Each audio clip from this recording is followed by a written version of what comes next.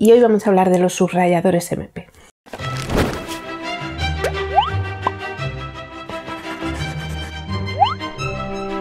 Hola a todos, ¿qué tal? Hoy vengo a hablar de los subrayadores MP y a enseñaros la prueba de la mesa. ¿Por qué no los tengo? Pues porque como recordáis os dejo un vídeo que hice hace unas semanas sobre cosas que iba a donar y se me había olvidado grabar esta intro. Así que ya no los tengo. Les hice alguna foto, así que probablemente estén estén en Instagram junto con la prueba de cómo funcionan y todo eso. Y bueno, os dejo también abajo donde los conseguí porque son unos subrayadores súper baratos, valen unos 3 euros o así, me costó a mí el, el, paquete, aunque era un producto plus de Amazon y si no lo comprabas con algo que llegaba a los 20 euros no te lo mandaban. Yo tenía que comprar una cosa en ese momento y aproveché y los incluí, si no pues probablemente eh, estarían todavía esperándome. Y por eso llegaron tarde a la de subrayadores porque tardaron un poco en mandarme el paquete. Pero bueno, os voy a enseñar ahora cómo funcionan sobre la mesa y cómo son y todo eso. Y nada, que ahora vuelvo y me despido.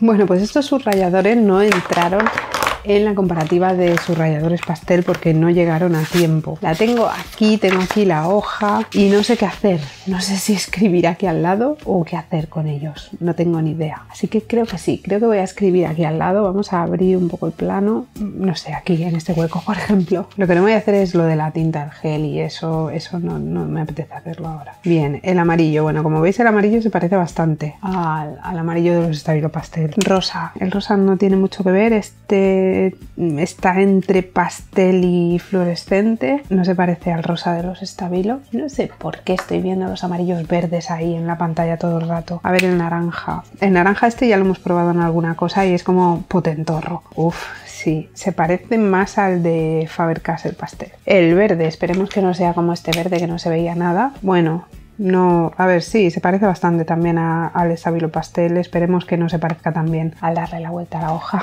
El azul, no. El azul se parece más a este.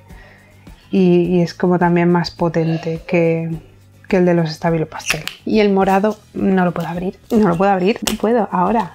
El, morado es el que, el que se parecía en, en todos los rotuladores. Era muy parecido. Así que a ver este si nos sorprende o qué. este es más pasteloso, un poquito más pasteloso, más claro, pero ahora va cogiendo también color conforme se va secando y se lo va chupando el folio. Y vamos a ver, al darle la vuelta, están aquí, Uf, están al nivel de los estabilo pastel, son estos de aquí, son estos de aquí.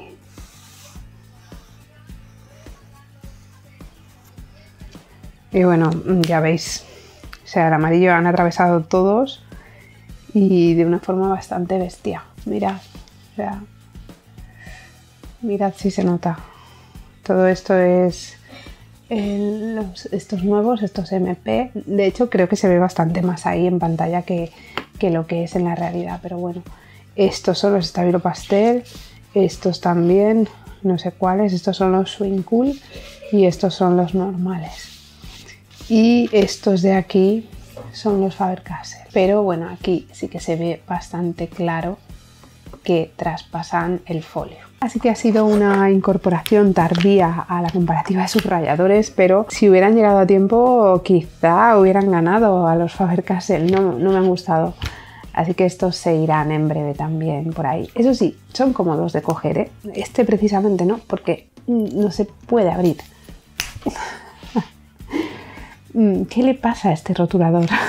Pero, veis, esto se abre más fácilmente, pero sí que son cómodos, son mucho más ergonómicos que por ejemplo los cucones. Y nada, mm, paso ya al vídeo a despedirme.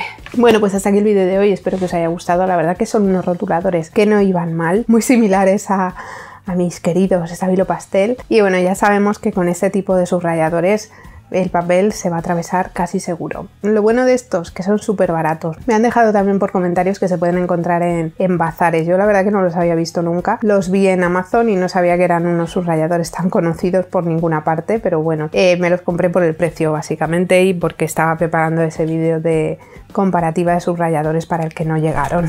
Pero en fin, no están mal, son súper baratos. Si tenéis que hacer algún pedido a Amazon que, que, os permita incluirlos, pues la verdad que están bien de precio y son cómodos de usar. No le pasa, no es como los Iconic que eran súper cuadrados y costaba mucho más cogerlos. Así que esa es, mi opinión. Me habéis pedido bastante que, que, os diga que me parecían y todo eso, así que aquí está. Y bueno, si tuviera que elegir entre Stabilo Pastel y estos, por el precio me quedaría con estos. Así que nada, hasta aquí el vídeo de hoy. Espero que os haya gustado. Si os ha gustado, ya sabéis que podéis darle a like y lo podéis compartir con todo el mundo para ayudar a luchar contra la maldición de YouTube. Si os gusta el canal os podéis suscribir ahí abajo y así además de ayudarme a luchar contra la maldición de YouTube me ayudaréis a conseguir el botón de plata que tengo ya muchas ganas de tenerlo. Si ya estáis suscritos podéis darle a la maldita campana y así YouTube os avisará cada vez que subo vídeos. Si no os avisa me podéis seguir en Twitter o en Twitter porque ahí aviso yo. Está ahí abajo junto al resto de mis redes sociales. Nos vemos por aquí pronto con otro vídeo y espero que paséis una muy buena semana. Hasta luego.